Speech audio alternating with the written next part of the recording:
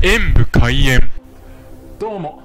私のつれづれなる日常演舞さんですよね。はい。そのいうわけで本日はこちら。こちら明治ブルガリアヨーグルト低糖いちご白桃を食べ比べてみたいと思います。うんフルーツの入った品種はちょっとみずみずしくて低糖は少し硬めの見た目ですね。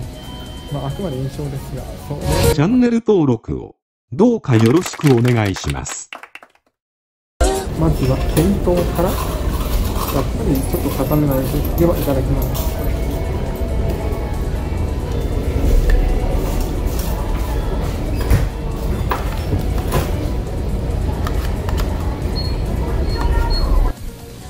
どれが一番好みだろう。甘酸っぱい？美味しい？さっぱり？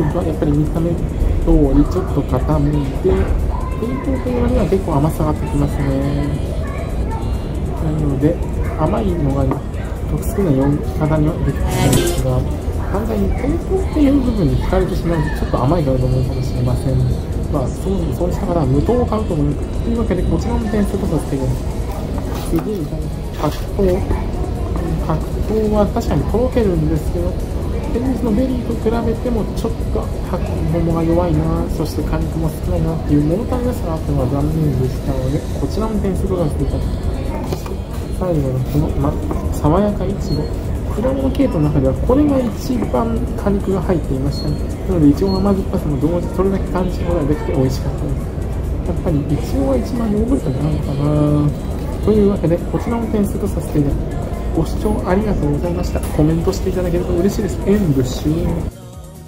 演